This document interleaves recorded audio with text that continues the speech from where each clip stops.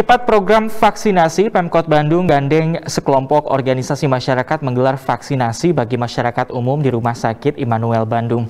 Ratusan masyarakat menerima vaksin dosis pertama guna meningkatkan herd immunity di tengah pandemi.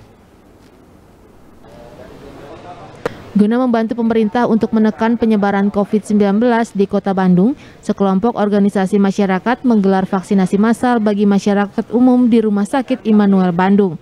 Vaksinasi tersebut diikuti ratusan masyarakat yang dibagi dua termin guna mencegah kerumunan saat pelaksanaan vaksinasi.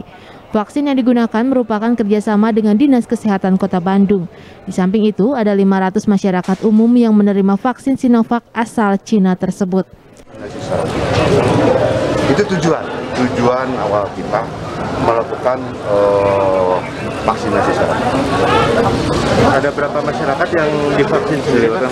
Uh, untuk jumlah masyarakat beserta keluarga anggota GMBI hari ini 250 Sementara itu, Wakil Wali Kota Bandung berharap kegiatan vaksinasi yang digelar oleh kelompok masyarakat tersebut dapat menjadi contoh bagi masyarakat lainnya. Ya, herd immunity di Kota Bandung. Kan kita target sekitar 1.952 ribuan lah gitu ya kalau saya nggak salah uh, data dosis satu itu kita udah 880 hampir 900 ribu lah. Kemudian uh, dosis kedua juga hampir 500 ribu 480 ribuan.